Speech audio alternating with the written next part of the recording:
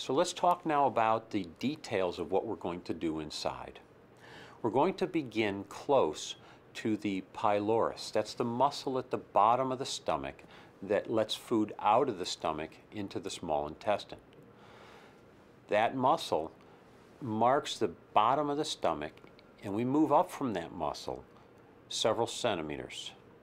We begin then to mobilize the, the blood vessels that come off of the side of the stomach from the bottom all the way around to the top of the stomach. We then insert a tube down through your mouth. You're, of course, asleep, remember, but we insert a tube down through your mouth that is about the diameter of my index finger. That tube defines the shape of this sleeve that we're making. We begin to cut the stomach just a little bit from that pylorus, that bottom muscle. We begin to cut the stomach and shape the new stomach around that tube that has been inserted down your mouth. That creates a template, if you will, that defines the size of the new little stomach. After we cut that stomach from bottom all the way up to the top, we now have two pieces.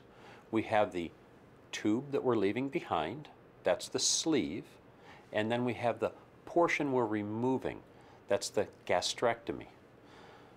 We can grab that piece of stomach through the spider device, close the arms that we had opened, and remove everything through the small incision that we had made.